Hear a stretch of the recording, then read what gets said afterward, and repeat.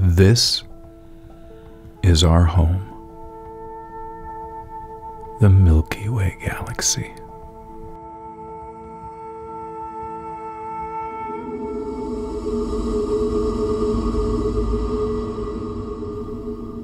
We're soaring through a digital model of our Milky Way, a complex dance of stars, dust clouds, and celestial wonders.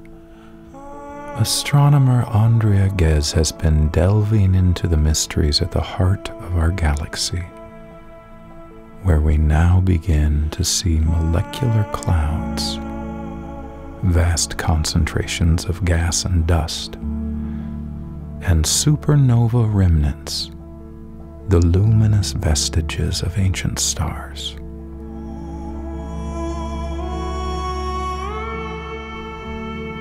We approach the focal point, stellar orbits at our galactic center, meticulously scrutinized by Dr. Ghez.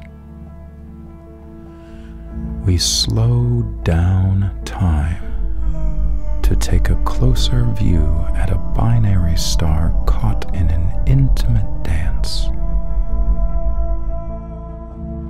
The galactic center is a rich, complex environment.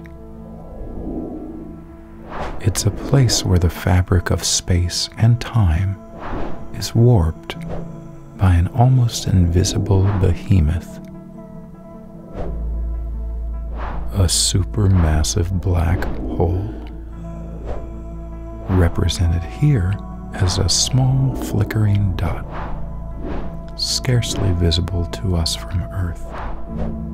This black hole, called Sagittarius A star, is the gravitational maestro orchestrating this cosmic ballet.